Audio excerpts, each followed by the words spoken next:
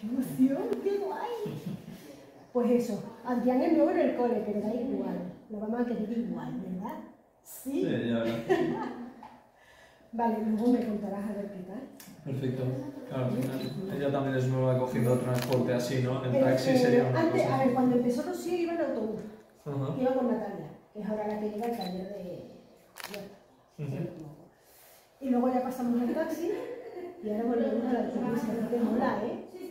A ti te gusta porque ves entrar, salir. Ya verás, ya, que vamos unos cuantos. Unos cuantos, no. Por abajo, abraza por abajo. Aquí. Por abajo, eso es. ¡Ay, te ha cortado! Me dijo eh, David que manejaba el comunicador y que lo Sí, manejaba súper ya, eso es lo que estamos esperando, ¿Qué el comunicador. Ah, vale. El comunicador lo maneja muy bien. Hola. Buenos Pues, días. Supongo que ahora te ¿vale? ¿Lo cuelgas? Sí. Muy bien. Vamos. Vamos. Ahora Bruno fuera esperando. Nosotros nos enteramos cuando hay algo. ¿Te quieres quedar en este lado? En vez de en el fondo, pues ya está. ¿Dónde quieres ponerte? Mira, Rosy, Ro, te puedes poner ahí si quieres. ¿Dónde quieres?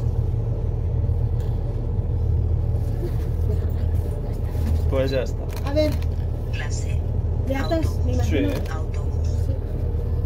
Rocío. Cuidadico. Sí. Adiós. Ven, Ahora voy a verte al cole, ¿vale? ¿Vale o no? divinamente. Muy bien, muchísimas gracias. Nada. 24. Cuatro. 24. Sí. ¿Cuántos días han pasado desde que denunciaste Pues sería el 12. Ha ¿Qué? estado 11 días sin ir al cole. Que tu hija Rocío llevaba 11, di- llevaba 11 días sin ir al colegio por falta de transporte escolar? ¿Qué se siente cuando...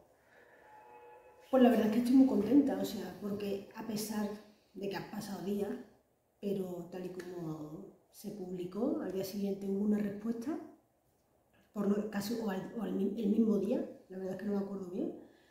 Y bueno, ha sido un poco tedioso porque al final, pues al final había que pedir un presupuesto, tenía que llegar a la empresa autobuses, ya está, ya está solucionado.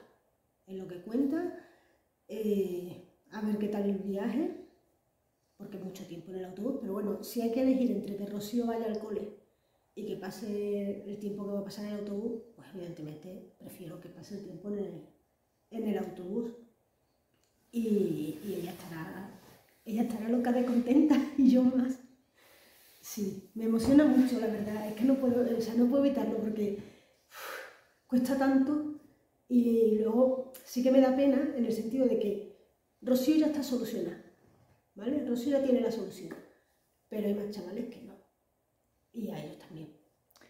Hay más chavales en Sí, Navarra claro, con discapacidad chicos que no... Hay más chicos que tienen discapacidad y que estaban, en- y, que estaban y están en la misma situación que Rocío, que probablemente su, su caso es un, poco, un poquito más complicado por caracteres, por, por características, por todo, y no sea tan fácil eh, como alargar la ruta y ponerle un ratito más.